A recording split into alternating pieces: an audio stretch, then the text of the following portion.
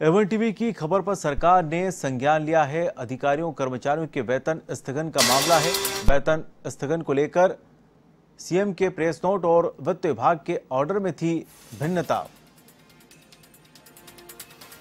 Avon TV ने social media पर doctors के विरोध को देखते हुए दिखाई थी यह महत्वपूर्ण खबर और उसके बाद वित्त विभाग के आदेश में नर्सिंग स्टाफ और पैरामेडिकल स्टाफ को ही वेतन स्थगन से रखा गया था अलग।